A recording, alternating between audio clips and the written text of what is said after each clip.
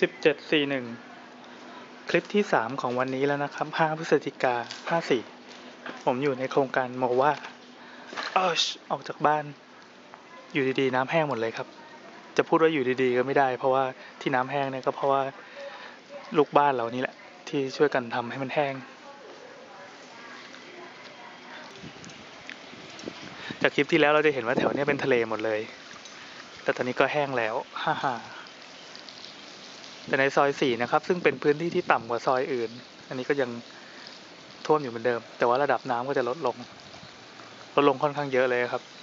อย่างน้อยเราก็ได้ความรู้ใหม่นะครับ ว่าตัวเครื่องสูบน้ำที่เป็นแบบพญานาคเนี่ยเป็นอาวุธหนัก เป็นสุดยอดตัวดูดน้ำนี่จริงดีครับ อันนี้เขาพี่เขาก็จะมีเวรยามที่มาคอยดูแลให้เครื่องมันทำงานได้อย่างปกติสุข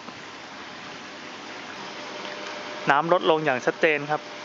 ไฟนี่ก็คือต่อมาจากไฟบ้านนะครับ บ้านนี้ ถือว่าอะไรที่ช่วยกันได้ก็ช่วยช่วยๆกัน เราไม่ได้เห็นซอยสี่มีพื้นดินแห้งๆโผล่มากลางถนนแบบนี้นานแล้วนะครับ อือหือนี่แห้งเลยแหละแห้งจนจน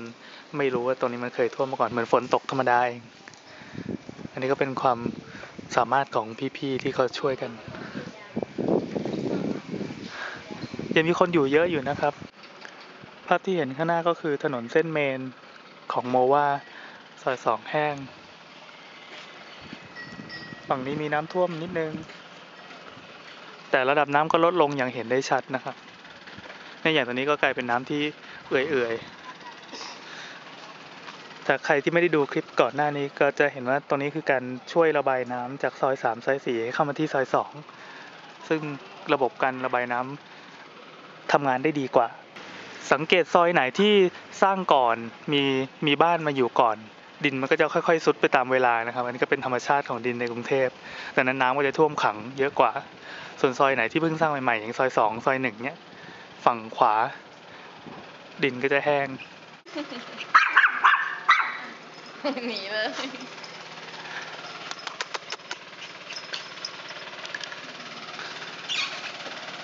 ซอยสองตอนนี้แห้งแล้วนะครับ มาดูที่ท้ายซอยสองครับ เครื่องสูบน้ำก็ยังทำงานอยู่เหมือนเดิม แต่ระดับน้ำท้ายซอยจากคลิปที่แล้วน่าจะเห็นว่ามีน้ำนองเต็มผืนถนน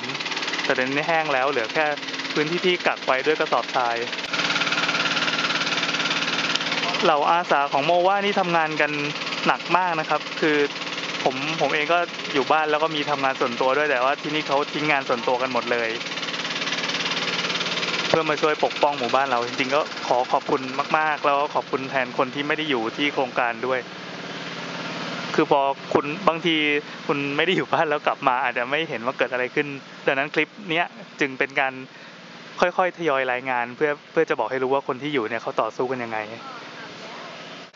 ซอยหลังคลับเฮาส์ครับ ตรงนี้ก็แห้งเหมือนกัน แล้วพอมาดูซอยหนึ่งซอยหนึ่งนี่แห้งสนิทเลยแหละ ตรงป้อมยามก็แห้งมากนะครับ